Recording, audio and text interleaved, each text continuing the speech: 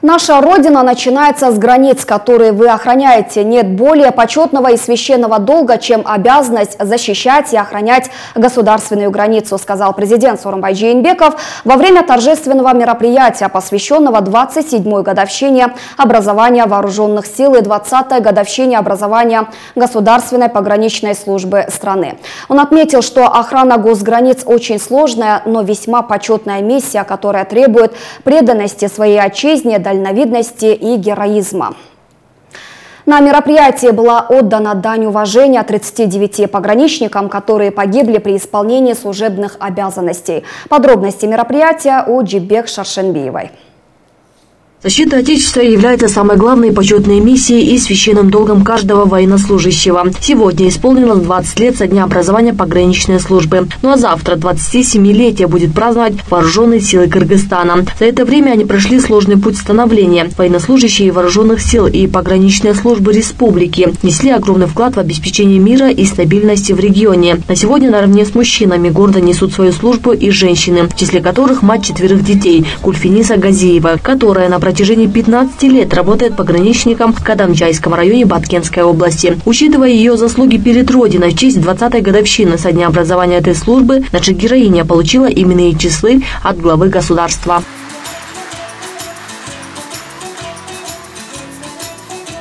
Она отмечает, что эта награда стала для нее полной неожиданностью. «Для меня честь работать пограничником и быть на страже границ», заявила одна, отметив, что если дети захотят пойти по ее стопам, то она не будет против.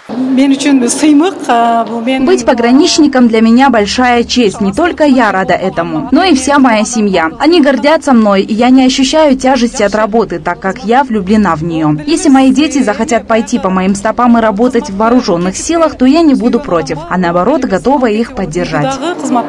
Ну, Акбар Усенов на протяжении 10 лет на службе народа, 8 из которых он трудится в государственной пограничной службе. После службы в армии Акбар понял, что эта область ему близка. Я считаю, что любовь к родине у всех проявляется по-разному. Я, например, люблю свою родину, охраняя ее границы и спокойный сон граждан. Я горд тем, что нахожусь в рядах пограничников. Всех своих сослуживцев поздравляю с этой знаменательной датой. Желаю им здоровья, семейного благополучия и мирного дежурства. Честь двух знаковых событий в столице прошло торжественное мероприятие, в котором принял участие главнокомандующий вооруженными силами страны Сорумбай Джейнбеков. Первым делом были вынесены государственный флаг и знамена двух военных структур страны.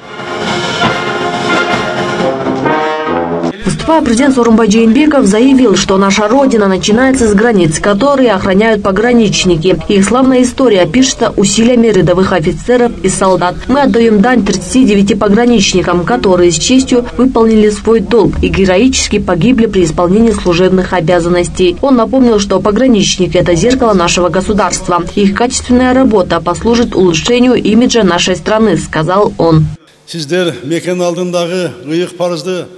Достойно выполняя свой священный долг перед Родиной, вы вносите огромный вклад в обеспечение мирной жизни для народа, в сохранение территориальной целостности страны, в укрепление наших границ. Свою жизнь и судьбу вы посвятили выполнению этого святого долга. Выражаю вам искреннюю благодарность за вашу достойную службу, за ваш патриотизм, за добросовестную и качественную работу.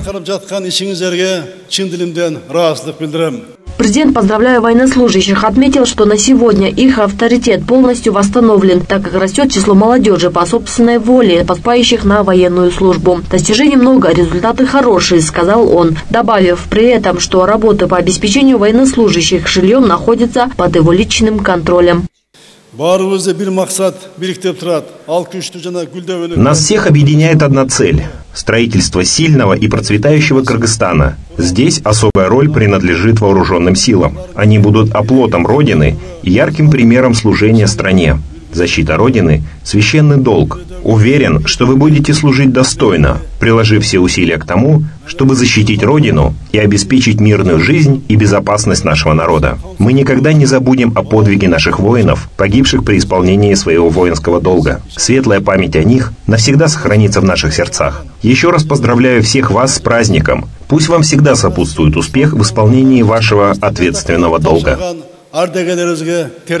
Рахсыздык билдиребиз в этот день глава государства наградил отличившихся сотрудников именными часами, в числе которых есть Ахлбек Ахмед Шарипов, который с 14 лет ходит в форме. Он кадровый военный. Сейчас руководит войсковой частью 52-870 Кубджангаки. Он отмечает, что самое главное качество для военнослужащего – это честь и отвага.